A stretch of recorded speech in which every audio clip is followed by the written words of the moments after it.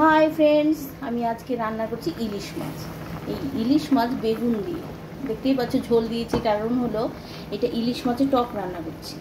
এটা বেগুন দিয়ে, তেঁতুল দিয়ে আর শস্য ফোড়ন দিয়ে, কাঁচা আর লঙ্কা ফোড়ন দিয়েছি। এটা দিয়ে আমি এখন টক রান্না করছি। এটা খেয়ে দেখতে পারো, সব রকম তো খেয়েছো? ভাপা, দই, ভাপা, ইলিশ, সর্ষে, এইসব। তো এইটা কিন্তু খেয়ে দেখতে পারো। ট্র্যাডিশনাল রান্না, এটা আমাদের ফ্যামিলির তো এটা আমি আজকে তাই করলাম।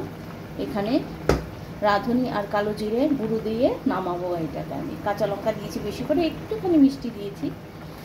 তারপর আমি নামিয়ে দেবো। একটু গাঢ় গাঢ় সেদ্ধ হোক, বেগুনটা সেদ্ধ হবে, তবেই আমি নামিয়ে দেবো। এরকমই কালার থাকে গ্রিন গ্রিন, আর এটা আমি মাকড়া বেগুন দিয়ে করেছি বলে গ্রিন গ্রিন হচ্ছে কালারটা। খেয়ে দেখতে পারো কেমন লাগে। খুবই ভালো, সুস্বাদু। আর এই পাশে আমি রান্না করছি ইলিশ ভাপা, দই ভাপা আর কি, ইলিশ দই ভাপা। এবার আমি হয়ে গেছে এটা, নামিয়ে দেবো। আর এই পাশে মসুর ডাল, টমেটো দিয়ে আর সজনে দিয়ে করেছি। আজকে আমাদের রান্না সানডে রোববারে একটু ভালো মন্দ রান্না করছি। ইলিশ মাছ, আজকে সব হলো ইলিশ মাছ।